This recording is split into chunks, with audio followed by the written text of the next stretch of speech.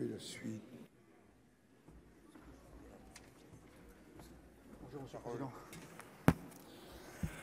Monsieur le président, mes chers collègues, je ne m'adresserai pas à Monsieur le ministre, vu qu'il n'écoute aucun intervenant qui se succède à cette tribune.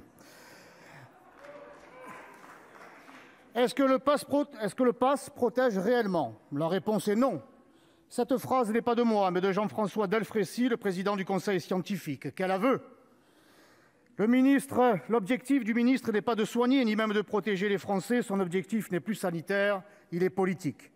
Il veut tout simplement donner l'illusion de faire quelque chose en prenant la décision la plus arbitraire et autoritaire que ce pays ait eu à subir depuis trois quarts de siècle.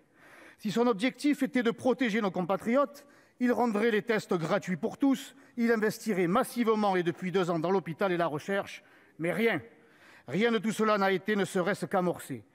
Parce que tout vacciné que vous soyez, mes chers collègues, je suis le seul, le seul à m'être fait tester ce matin et je suis négatif je suis en mesure d'affirmer que je ne contaminerai personne ici. Qui, dans cet hémicycle, peut en dire autant? La dérive autoritaire est terrifiante et ce qui me terrifie encore plus, c'est la docilité du Parlement, de l'Assemblée hier et du Sénat aujourd'hui, qui va avaliser vos décisions sans que presque personne n'y trouve rien à redire. Que les élus, que les députés de La République En Marche soient des godillots, on le savait mais que la majorité de droite du Sénat vote ce texte sans prendre en compte les atteintes irréparables commises sur nos libertés, c'est plus qu'inquiétant, c'est mortifère. Oui, vous êtes en train de martyriser la démocratie et la liberté. Vous faites de 5 millions de Français, dont je suis, des sous-citoyens, des non-citoyens. Qu'avons-nous fait pour mériter un pareil châtiment?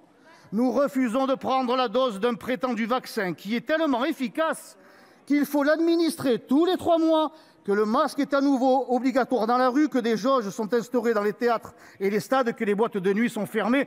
Bravo, quelle réussite Nous n'en voulons pas Qu'importe Le ministre nous l'impose de façon déguisée, alors même que le Conseil d'État s'y est opposé en ces termes.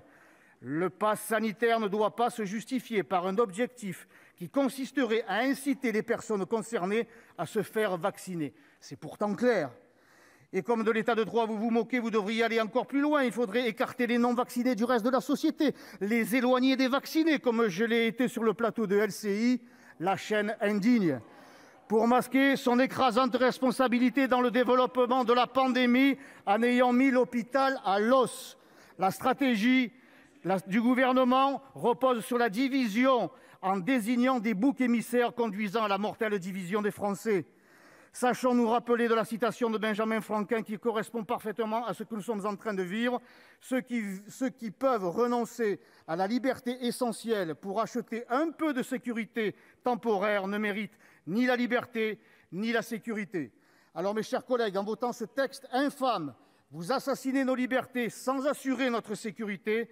Ce texte est une honte pour vous, pour la République et surtout, surtout, pour la France.